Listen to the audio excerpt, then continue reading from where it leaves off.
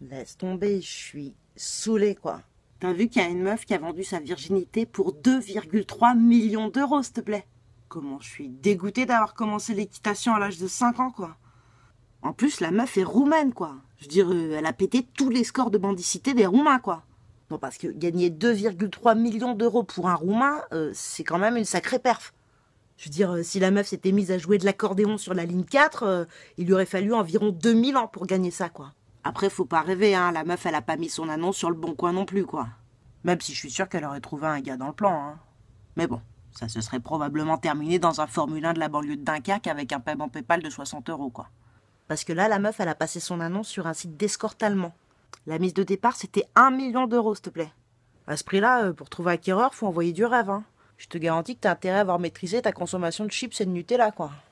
Et le plus abusé dans l'histoire, c'est que sur les 2,3 millions d'euros, l'agence a pris 20% de commission, quoi. Les mecs, ils envoient une petite vierge de 18 ans se faire dévierger par un gros dégueulasse et tout est normal, quoi. Puisqu'en Allemagne, c'est légal. Un genre de proxénétisme décomplexé, quoi. Dégueulasse. En plus, le nom de la meuf, c'est Oana Raducu. C'est pas une vanne. La meuf s'appelle Raducu, quoi. Ah bah, avec un nom pareil, c'est sûr qu'elle avait plus de chances de finir sur le trottoir qu'au couvent, quoi. On sait pas, mais aussi bien le nom de famille, ça a une influence sur ton destin, hein. Regarde De Gaulle, avec un nom pareil, euh, soit il faisait carrière dans le porno, soit il finissait président, hein. Et t'imagines si Marine Le Pen s'était appelée Marine Lejoie? Aussi bien elle aurait fait carrière dans l'humanitaire. On sait pas, quoi.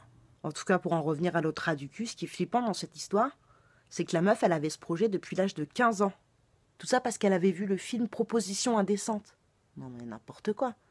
Moi, à 15 ans, j'ai vu Pretty Woman et ça m'a pas donné envie de faire le tapin, quoi. N'importe quoi. Et puis même, t'imagines le message que ça envoie à la jeunesse? Et je te parle même pas des gamines qui se font violer chaque année pour pas un rond, quoi. Comment elles doivent être saoulées? T'imagines le manque à gagner? Ah bah, quitte à te défoncer psychologiquement, autant repartir avec un beau chèque, hein tu seras quand même obligé de te taper 20 piges de psychanalyse, mais bon, euh, au moins t'auras les moyens de la payer, quoi. Bon, allez, je vous laisse. Je vais jouer à l'euro million. C'est pas sûr que je décroche le gros lot, mais bon, au moins je perdrai pas ma dignité, quoi. 我要放歌。